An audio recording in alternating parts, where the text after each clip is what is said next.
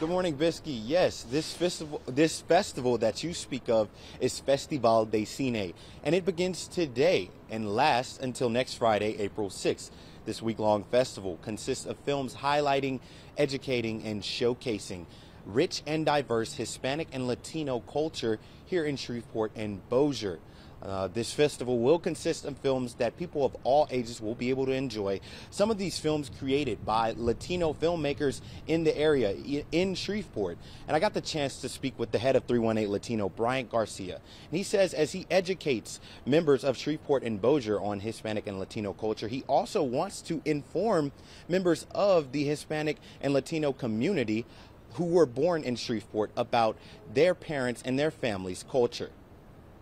Shreveport right now is working on their second generation of Hispanics growing up. Many of them U.S. born, never seen their home country, uh, or, or, were born in this country, uh, so they never seen their parents' home country uh, before.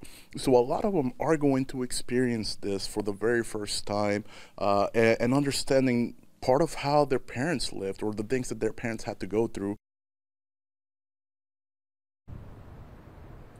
Now, if you are interested in coming to learn about Hispanic and Latino culture, or if you just want to come and see a film, tonight, Argentina 1985 begins at 6 p.m.